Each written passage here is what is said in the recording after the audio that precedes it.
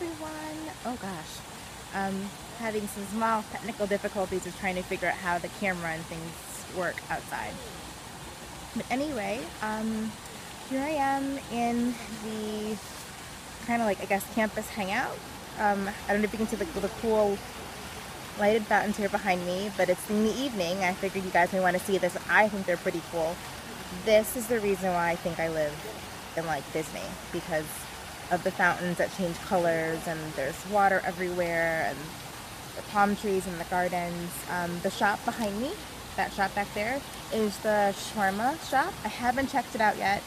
I'm, you know, doing my fast food little by little. Tonight I actually had some Japanese food in our Japanese sushi lounge thing, which is amazing. I will post the picture of what I had for dinner later. Um, okay, so I am two weeks in, two weeks in, and I have to say, it's amazing here. I also realized I don't really live in the real Saudi Arabia, but that's like saying I live in New York City, I don't really live in America. Or I live in LA, I don't really live in America. Or I live, like, you know, you still live in America, you just live in a nice part of America. You may not live in, like, West Virginia out in, like, the mountains, or you may not live in, like, Utah out where there are, like, plains, or you may not live in way upstate New York where there are like farms and things. You know, city life is different than country life is different than like suburban life is different than a closed campus and a city campus and an open campus. Everything's a little bit different. And so I'm here and it's pretty freaking awesome. Um, the people, there are people out here tonight. It is technically Saturday night, which is Sunday night here because Saturday's the new Sunday. Because um, I go to work tomorrow and school's tomorrow. Although I think some of the labs were open today because I went out for dinner on campus or lunch on campus and it was pretty full. I really like it here.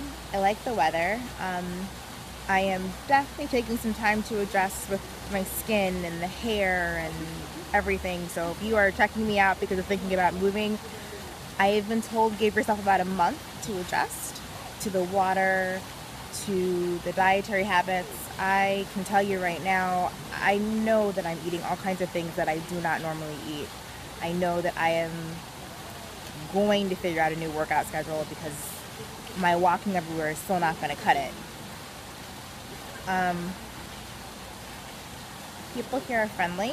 I just had a lovely dinner talking with people from all over the world, from the Philippines, from Lebanon, from Iran, and uh, I'm sorry, I forgot what country you're from. And if you had dinner with me tonight, you'll know who I'm talking about, but otherwise, I won't say anything because I forgot.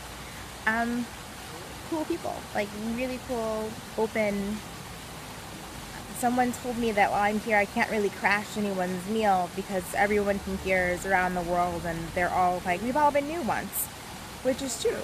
No matter where you are in the world, at some point we were all new somewhere. Whether it was new at school, new at work.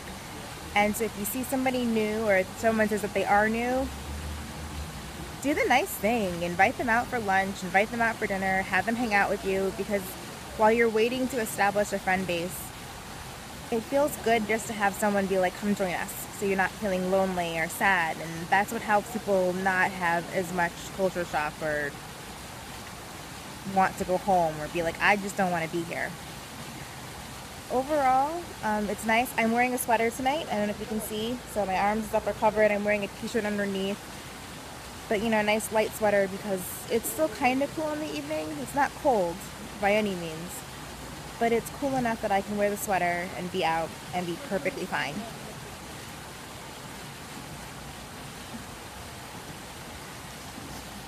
I will do a quick round the world tour.